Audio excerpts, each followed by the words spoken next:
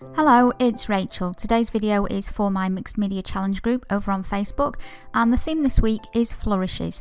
I'm starting here with some distress ink on my craft sheet and I'm going to use the wrinkle-free distress technique to pick up the ink onto my hot press watercolour paper.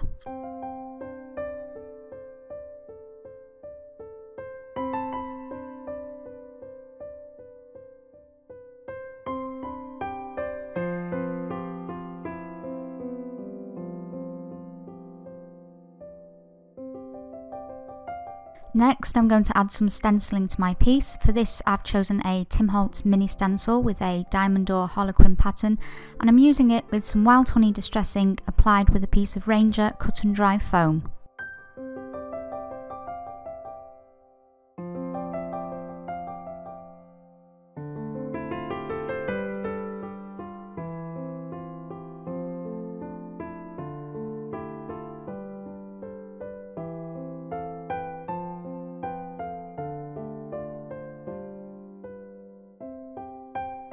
Now I'm going to add some stamping to my piece. For this I've chosen a background text stamp by Stampin' Up and I'm stamping using archival ink in the colour watering can.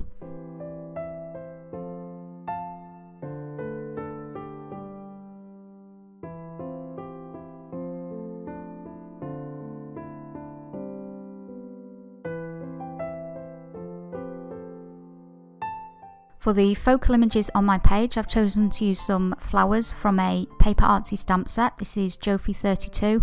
I'm stamping them using VersaFine ink in Onyx Black before cutting them out and adhering them to my project using some golden matte medium.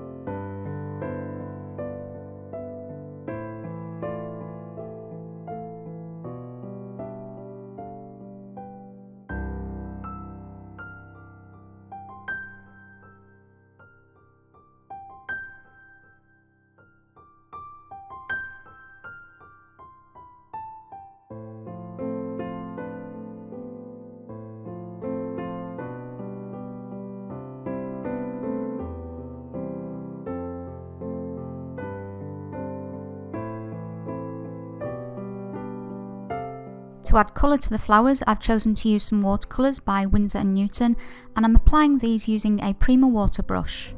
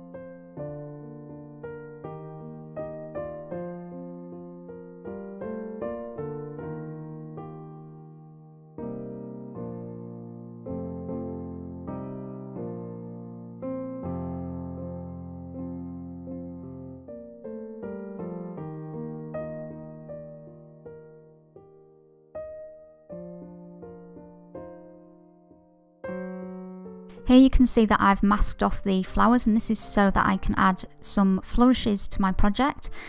And for this I've chosen a flourish stamp by Crafty Individuals and I'm using archival ink in manganese blue.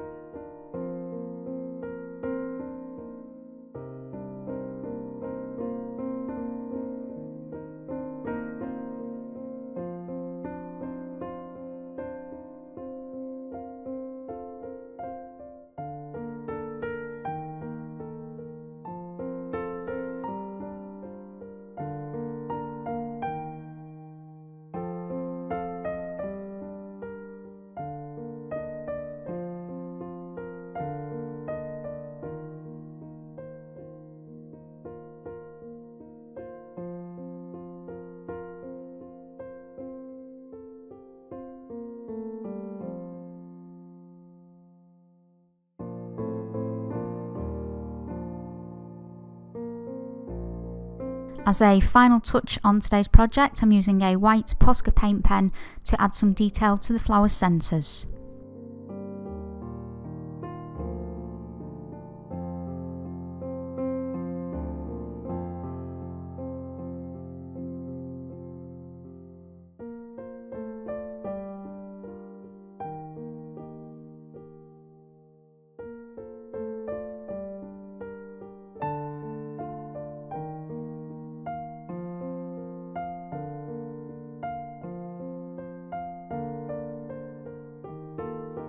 That is everything for today. I hope you enjoyed watching. If you did, I appreciate it when you hit the like button or leave me a comment.